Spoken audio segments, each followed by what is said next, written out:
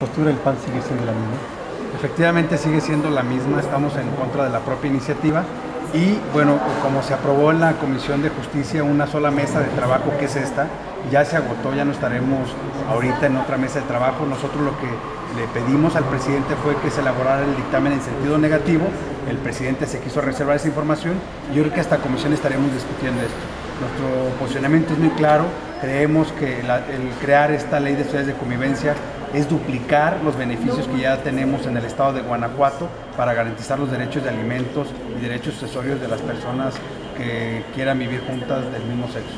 ¿En qué ley está contemplada esta, diputado? Bueno, mm, estos serán, serán reformas al Código Civil, lo que está proponiendo esta ley de convivencia, pero nosotros lo que estamos diciendo es que los derechos tanto de alimentos como accesorios ya están garantizados puede ser a través de donación de su fruto vitalicio, de propio testamento, del fideicomiso, de ponerlo a alguien de beneficiar en una Afore, en una cuenta bancaria y un sinfín de, de esquemas que se pueden realizar para garantizar los derechos de la persona con la que se vive.